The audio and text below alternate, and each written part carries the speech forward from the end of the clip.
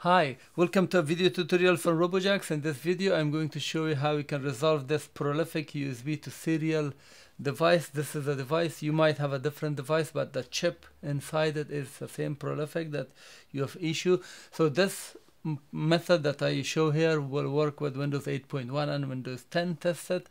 Then the driver, you should not have an issue with Windows 7 and prior Windows. So let me just disconnect it so you can see this is the screen that I have.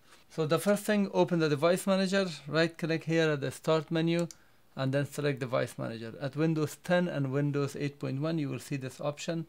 So we'll open the device manager and we go to that device. If you're using other Windows, click here and then type run and when, when run opens, then type dev mgmt that refers to device manager management.msc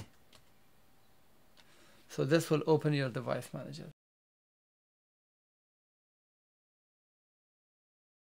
So the first solution is that you right click here and then update the driver and then select browse my computer. And then in this screen select this option. You will have multiple options here multiple options which I'm gonna show you next.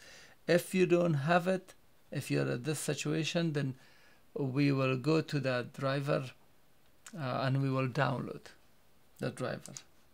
This is the link bit.ly prolific 333 that refers to driver version 3.3.3 that I've put it. This link will download the file from robojax.com from our own website so let me just copy it. And then so once the pop-up comes just save it. I have saved it in my computer so wherever you've saved it just go there. If you're using Chrome just click here show in folder. And this is a driver this is a zip. So I'm I have 7-zip so right click 7-zip if you don't have 7-zip you can get it from 7zip.org or any other means. So I'm just extract uh, selecting extract here so now we will have this option this file. So so now let's run this .exe I have tested and run it with uh, my antivirus. It's clean. Okay.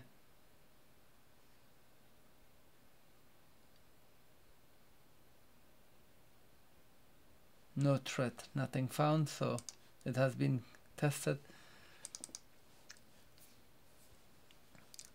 so this option will uninstall. You see this the job of this one is to uninstall any prior drivers. Select and accept it and finish. Now nothing has happened there.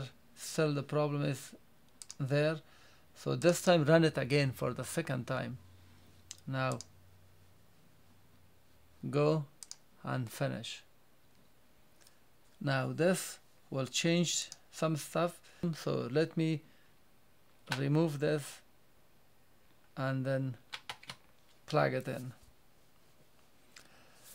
In some cases you will see the issue will be resolved because you, have, you might have tried and installed multiple type of drivers but in this case we see the issue has not been resolved. Click update the driver and then browse my computer and software and this screen select the bottom one. Now you will see you will see 3.3.3 and 3.8.18 select the first one which is from 2009 the 2017 is not compatible. Select this option click next and I see it says successfully resolved and the issue is resolved and it will work fine. In case if you don't see that 3.3 and 2 options just after removing the driver make sure to reboot your computer.